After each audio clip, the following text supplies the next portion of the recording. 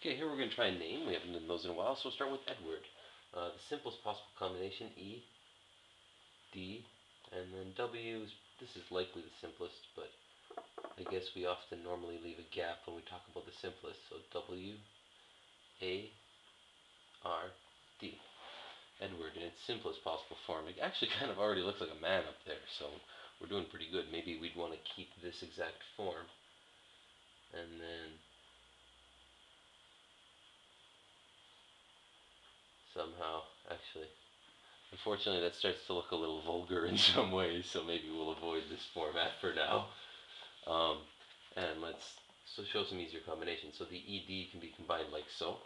Um, you're not quite sure if it's an ED or an EH, so you default guess H always, because D is more common in these situations. And if you wanted to make it EH, you have to draw your little H dash. Okay, so ED, and then we can have W like so. Have the A come out. Edward. That's not bad looks interesting. Actually, might be able to make that look as if it is some kind of eye and a mouth. And maybe it's this is the eye, this is the nose, this is the mouth. Not bad. Maybe wearing glasses even, I don't know. That one turned out okay. What else can we do with it? Let's have a look here. So we could go E, D, the other form of the W. The W can also be a double zigzag. A, then we can go R, D. that might be a mouth.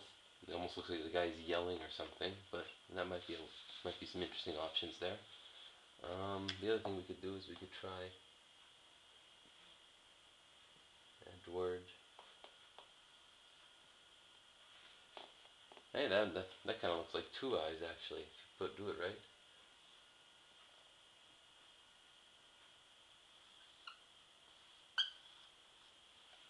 That quite like, looks like a face. So we're having fun being able to make quite a few faces here. Now let's just see if there's anything else. Let's just let's just try packing it all right up into the into the same bundle here.